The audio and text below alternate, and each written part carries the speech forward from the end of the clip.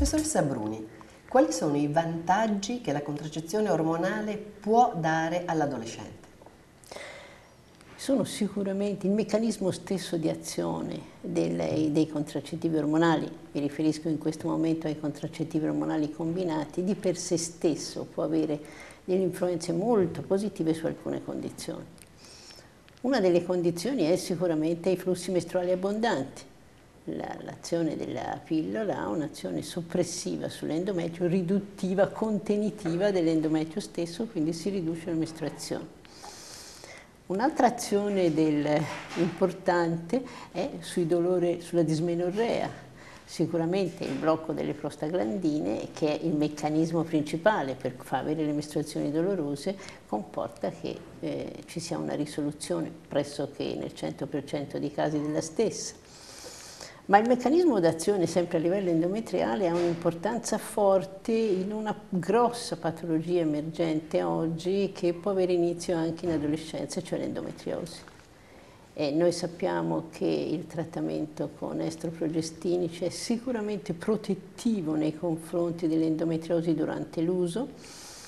non sappiamo se, è, se, sia preventivo della stessa endometriosi, questo non lo possiamo dire, ma sappiamo sicuramente che dopo interventi per endometriosi l'uso della pillola contraccettiva riduce le recidive, quindi è un'azione assolutamente positiva.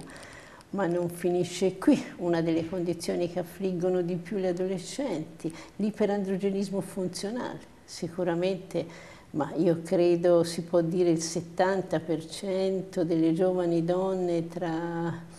mm, il post-menarca fino ai 25 anni ha un'acne, più o meno rappresentata, ma comunque acne, una quota percentuale anche un iperandrogenismo espresso da un irsutismo, da un'ipertricosi, quindi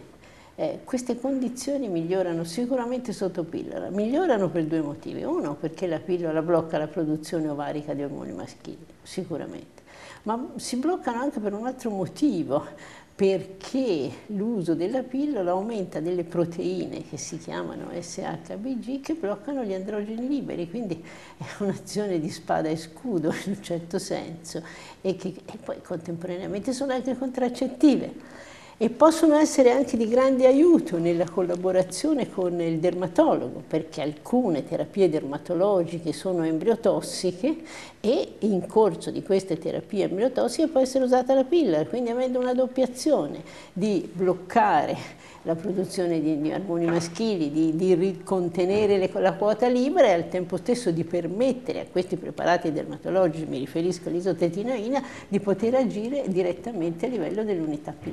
pilosebacea, ma insomma, potrei continuare ancora per molto.